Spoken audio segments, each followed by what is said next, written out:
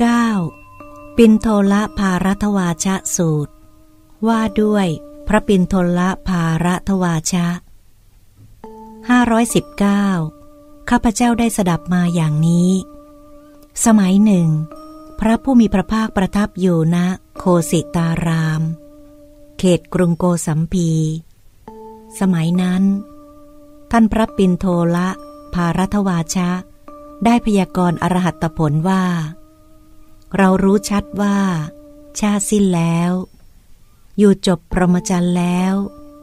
ทำกิจที่ควรทำเสร็จแล้ว ไม่มีกิจอื่นเพื่อความเป็นอย่างนี้อีกต่อไป ครั้งนั้น ภิกษุจำนวนมากเข้าไปเฝ้าพระผู้มีพระภาคถึงที่ประทับ ถวายอภิวาทแล้วนั่งณที่สมควร ได้กราบทูลพระผู้มีพระภาค ดังนี้ว่าข้า แต่พระองค์ผู้เจริญ ท่านพระปินโทลภารัตวาชะพยากรอรหัตผลว่า เรารู้ชัดว่า ชาติสิ้นแล้ว อยู่จบพรหมจรรย์แล้วทำกิจที่ควรทำเสร็จแล้ว ไม่มีกิจอื่นเพื่อความเป็นอย่างนี้อีกต่อไป ท่านพระปินโทลภารัตวาชะ เห็นอำนาจประโยชน์อะไร จึงพยากรณ์อรหัตผลว่า เรารู้ชัดว่าชาติสิ้นแล้ว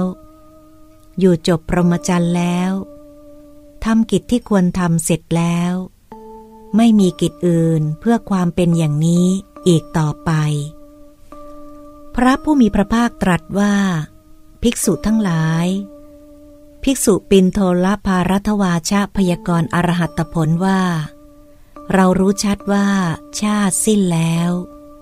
อยู่จบพรหมจรรย์แล้วทำกิจที่ควรทำเสร็จแล้ว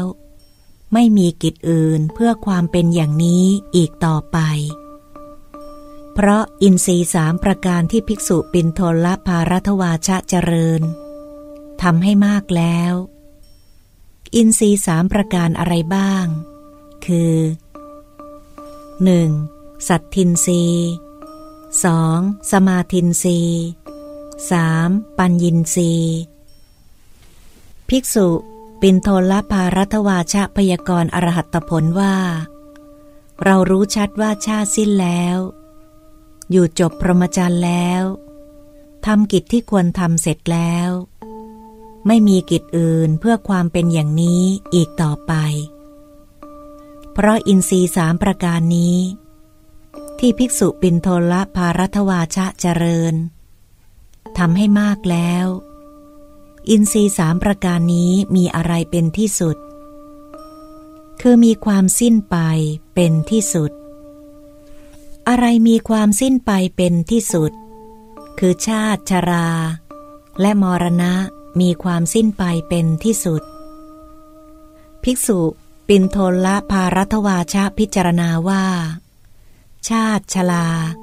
และมรณะสิ้นไป จึงพยากรณ์อรหัตผลว่า เรารู้ชัดว่าชาติสิ้นแล้ว อยู่จบพรหมจรรย์แล้วทำกิจที่ควรทำเสร็จแล้ว ไม่มีกิจอื่นเพื่อความเป็นอย่างนี้อีกต่อไป ปินโทละภารัตวาชาสูตรที่เก้าจบ